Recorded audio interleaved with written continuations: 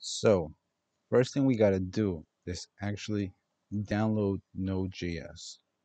Once once we download Node, then we're going to be able to start our React app. Uh, so yeah, go ahead, download it, and we're going to install it. Just go ahead, next, next, next, next, and please wait while the setup wizard prepares to guide you. Migrating features. Okay. It's gonna go ahead and install. And just go for it. Just install. I don't. I usually don't click on that one. Uh, yeah. And that's pretty simple. It's pretty straightforward to install Node.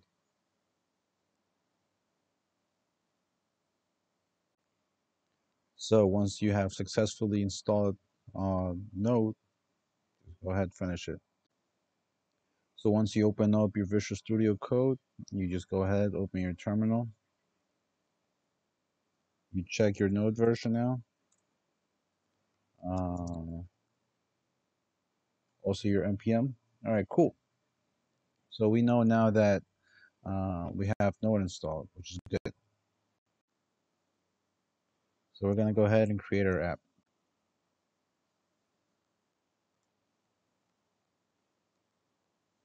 Let's just call it demo app. You can call it whatever you want.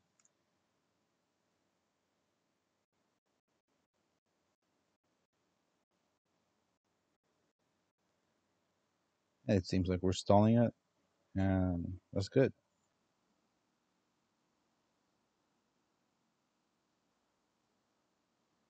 Okay, so we have installed, we have created our React app, and so to actually see it online in our browser, we just say npm start.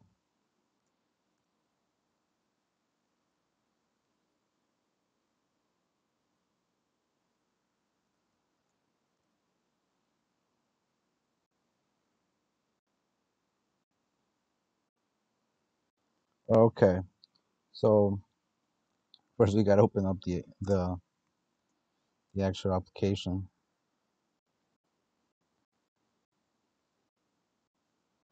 I opened a, a, a fresh new window, and um, yeah. this is what I was talking about. Since I'm so since I actually just created a random application, I'm inside uh, row A and have all my stuff here. But this is the demo app that I just created. I created in a in um in my general directory. So we're gonna go ahead and cd into demo app. But if I would have created another um folder into a subfolder into a subfolder, that would have been that would have been fine too. I just wanted to show you how you would actually do it. So right now I'm gonna launch the application. And it should open up um localhost on my browser automatically.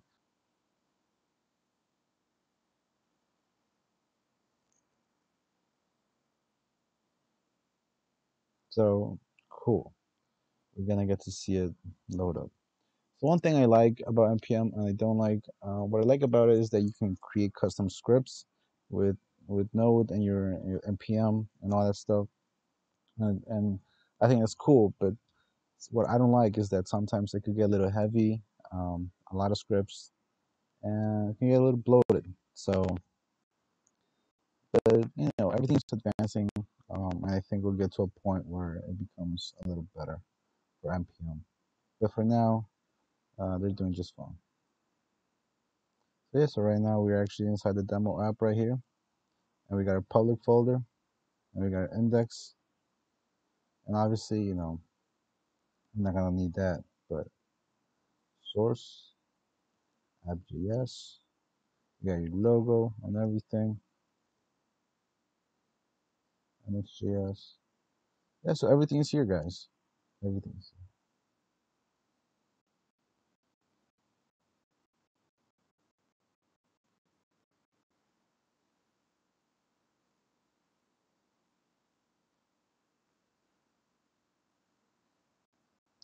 I'm just gonna change the color a little bit, just for just for messing around. And then it compiles successfully every single time you do a correct change. So I just changed that. But yeah, this is it. This is your React app, and go ahead and start breaking it.